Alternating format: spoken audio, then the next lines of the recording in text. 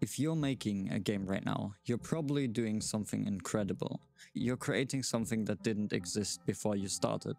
And yet, most of that effort stays hidden. Only a few friends, maybe a few Discord folks know what you're working on. What if more people could see it?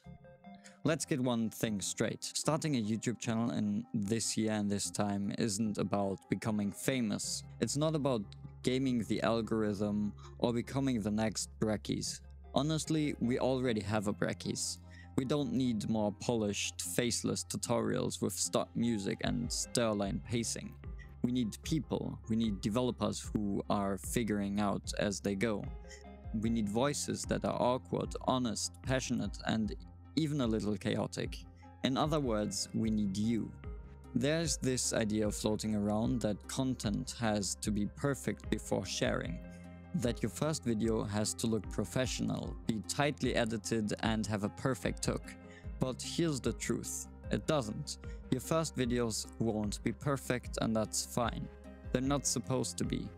What matters is showing up. What matters is learning as you go, because with every upload you hit a checkpoint, and if you keep at it, those checkpoints will start to form a strong path. One others can follow as well. You might be thinking, but my game isn't ready yet, I don't have anything worth showing. Yes, you do. Even a half-finished prototype, even if you're stuck on a bug or just fiddling with shaders. This is still part of the process and people love seeing that process. In fact, sometimes showing the rough edges is more valuable than actually showing something that's finished. Because it's real, it's relatable, and because it gives someone else the permission to keep going without being perfect with their imperfect game. You don't need fancy gear to get started, you don't need a DSLR camera or perfect sound creating room.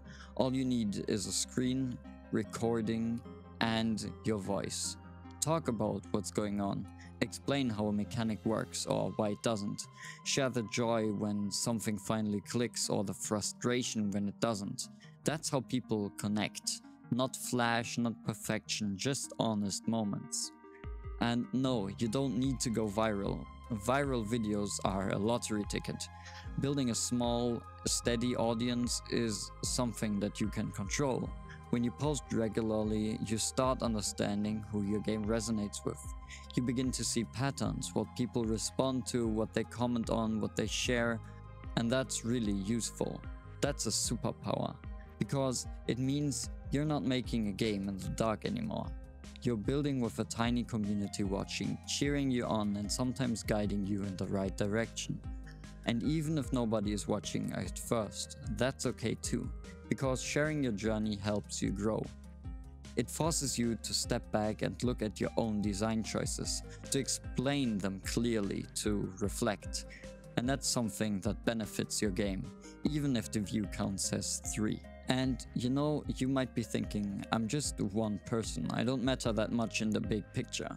But here's the thing you and I are just a little speck compared to what's going on out there. But don't worry, no matter how small or insignificant that might make you feel, you're still amazing. Your perspective, your experience, your humor, your mistakes, they're all valuable, even if you feel invisible.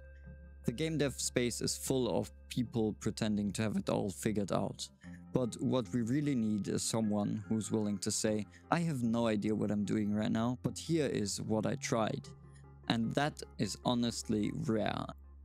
And that's powerful. If you're worried about being interesting, don't be. You don't have to perform, you just have to be present. Show the game, show the progress, talk about the decisions, even the ones that you regret. That's how you build something bigger than just a game you build a trust, you build a voice, and you build momentum. Let me give you a simple way to start. Pick a small feature from your game. Maybe it's a jump mechanic, maybe it's a shader, maybe it's a menu transition. Record your screen, talk for a couple minutes and share it what you're trying to do. Upload it and that's it. That's your first video. It doesn't need to be long, it doesn't need to be flashy, it just has to be you talking about what you're building because when you do that you're no longer building in silence you're creating something that's visible something that can reach people and something that can grow. And as you keep going, you will get better. Your audio will sound clearer, your delivery will become smoother, your editing will improve, even game designs will evolve because talking about your systems makes you see them differently. It's not about overnight success, it's about quiet progress, stacking small efforts together until you can look back and realize, I've come a long way. So, should you do game development videos in this year? Yes, even if you're not ready, even if you feel awkward, even if you think nobody will care. Because showing up just as you are might be exactly what someone else needs to see. Start now, start small, start honest. You don't need permission, you don't need polish, you just need to care enough to hit record, and the rest will come from itself.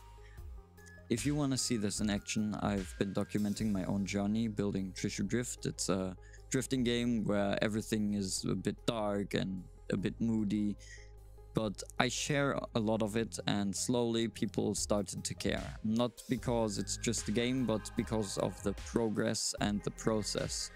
About the little moments that made it real. If that sounds like it's interesting to you, feel free to check it out. Trishu Drift is on Steam and it's getting a bit faster every week. So you don't have to go viral, you don't need to be perfect, you just have to show up and that's how you grow. That's how you build trust and that's how you make something that lasts. You already started the game, now start sharing it. And if you liked the video, please consider hitting subscribe.